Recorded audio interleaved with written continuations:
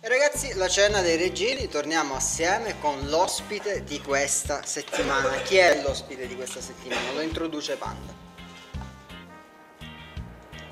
Esatto, esatto, perché loro si chiamano Nuclear Detonation e quindi il silenzio, bravissimo Panda, interpretava il silenzio dopo la... Bravissimo, vengono da Reggio Calabria, li abbiamo intervistati alla fine la serata metallare, adesso ci becchiamo questo video, ragazzi, tra l'altro sono di Reggio, quindi bisogna anche foraggiare i regini. Luca Detonation, vai col video. Ragazzi bentornati alla Cena dei Regini, parliamo adesso con i Nuclear Detonation, una band giovanissima formata nel 2012 ma già pronta al suo primo lavoro eh, discografico. Ragazzi parliamo insieme del, dei Nuclear Detonation, una piccola descrizione della band e della vostra eh, musica. Ci siamo. Bene, noi siamo nati nel 2012 da una mia idea, sono Luca, cantante e chitarrista del gruppo. Eh, avevo, avevo l'intenzione comunque di esprimere mie, i miei sentimenti, quindi la mia rabbia, la mia, qualunque tipo di sentimento attraverso questo veicolo che è la musica. Il mio genere preferito è appunto il trash e così nasce, nasce il nome, Nuclear Detonation, e, è, il, è il tipo di musica. Il gruppo ha avuto un po', diciamo, un'esistenza travagliata. Se non sbaglio abbiamo cambiato 13 componenti nell'arco di due anni. Un esercito. Eh, un po' sì. diciamo, diciamo eh, eh, lo so, lo so, lo so, raga, però eh, diciamo che come una fidanzata che non va bene, magari anche il componente di un gruppo può non andare. Certo, certo.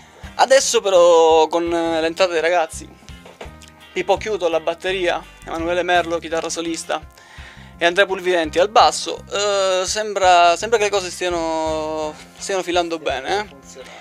Difatti siamo, siamo vicini alla pubblicazione del nostro primo lavoro in studio. Iniziamo intanto con eh, chi ci, vuole, chi ci sta seguendo, diamo un riferimento internet dove trovarvi sul web per scoprire un po' di più di voi. Perfetto. Ci potete trovare facilmente su Facebook cliccando sulla pagina Nuclear Detonation, detonazione nucleare e magari mettendo pure un mi piace così seguite tutte le nostre vicissitudini, va? I nostri guai, le nostre cazzate, un po' tutto, si può dire cazzate? Si può dire. Ah, perfetto. Abbiamo sentito anche di peggio in questa trasmissione. Ah, sì? un giorno capirà. Ottimo! Ad ogni modo, poi c'è il canale YouTube, sempre Nuclear Detonation, oppure se vi va potete mettere mi piace sulla pagina Facebook della nostra casa discografica, la Senseless Life Records.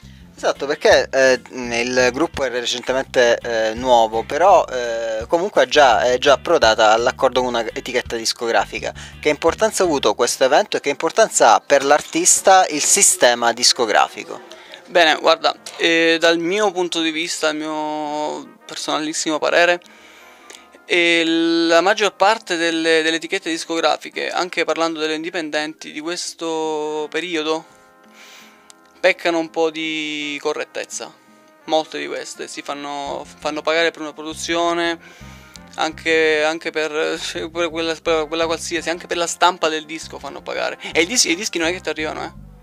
Fanno pagare la stampa del disco, poi loro distribuiscono il disco e poi magari a te vengono 70-80 centesimi a copia.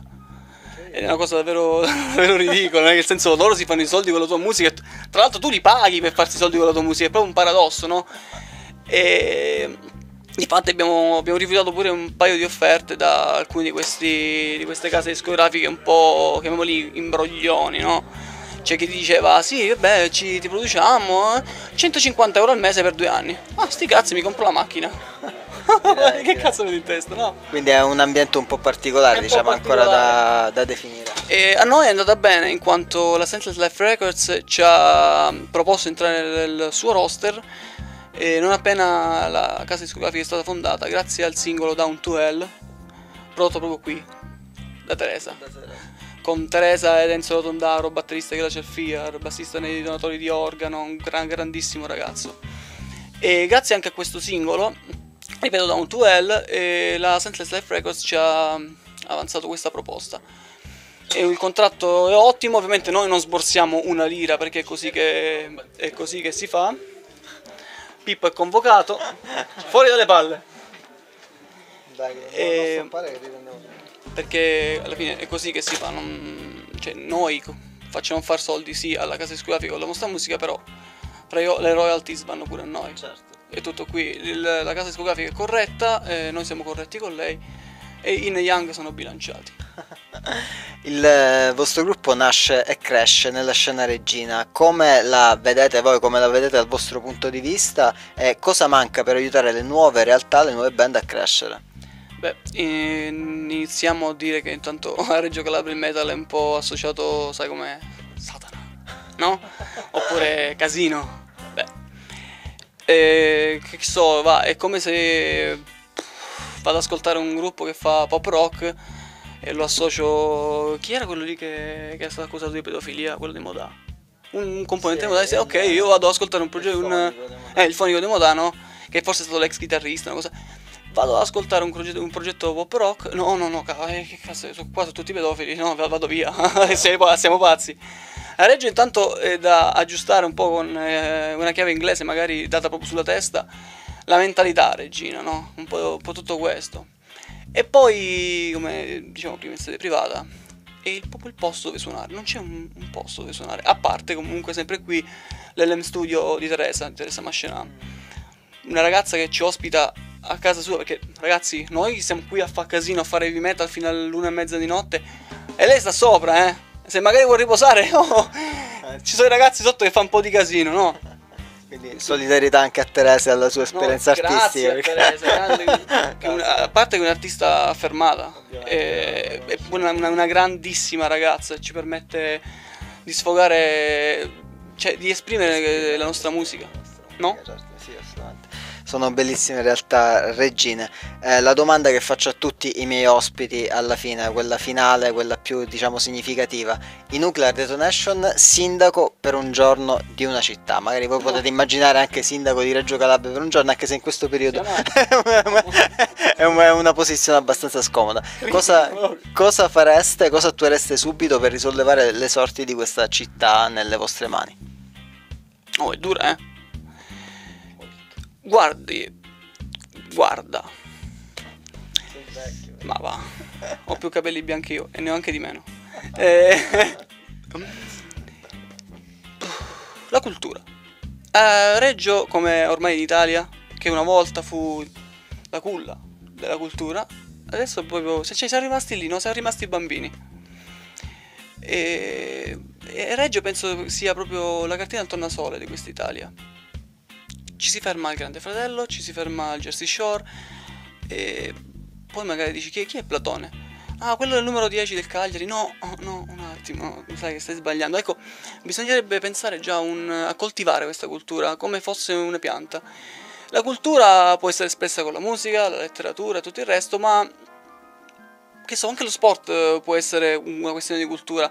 Come dicevamo prima, io ex nazionale di atletica leggera, ora mi vedo il CONI di Reggio chiudere senza un... Una situazione motivo. critica che si è creata in questi giorni dove la struttura è destinata a chiudere. È ridicolo, davvero, anche perché chiudono per eh, i bagni. I, cioè, I bagni sono perfetti, non sono rotti e funzionano, solo che non sono sanificati. Falli sanificare e riapri il campo. Parlo di questo perché comunque vorrei fare un parallelo fra musica e sport. Sono due, forse gli unici linguaggi universali, no? E quando stai in mezzo a un concerto, ascolti una band che ti piace, con il ragazzo o la ragazza che stai accanto, non ti vieni da del lei. Gli hai subito del tu, prendi subito di confidenza, magari ci poghi pure se è un bel ragazzo bello grosso e non è una ragazza, no? Prendi subito di confidenza, questo è un, bel, è un bel linguaggio, lo sport è uguale. Dipende Questa anche dalla ragazza, da qua. Questa fratellanza, diciamo. Se vieni a pogare tu con me. Ti ammazzo, lo, lo faremo, cioè, ci abbiamo tre gruppi per pogare. Dopo noi. E... Stesso con, stesso con per quanto riguarda lo sport. Finisci una gara, magari non ti conosci, ma ti dai già del tu, cioè ti presenti tutto il resto. C'è questa. C'è questo tipo di. C'è questo tipo di fratellanza che si instaura dopo una gara. Prima, prima, della gara, ovviamente in quei secondi della gara sei anche un po' in attrito, però. Concentrato, però. Dopo, prima della gara, sei uh, amico dei tuoi avversari, anche di persone che non hai mai conosciuto. Uh-huh. Uh, ci fai subito amicizia perché sport e musica sono due dei linguaggi più universali a questo, a questo mondo. Assolutamente sì, assolutamente sì. Tra l'altro io nella, nella struttura Lausobacco ospito anche questi concerti e ho visto proprio questa grande fratellanza che, che unisce gli artisti.